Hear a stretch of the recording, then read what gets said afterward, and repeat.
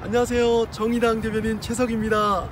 브레인 서비스 커뮤니티에서 주최하는 강원도 보컬 대항전 개최를 진심으로 축하드립니다.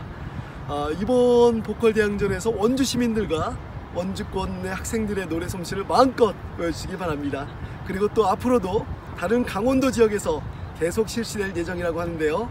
강원도민 여러분들 많은 참여 부탁드립니다. 참여하시는 분들 모두 화이팅! 그리고 브레인 서비스 화이팅!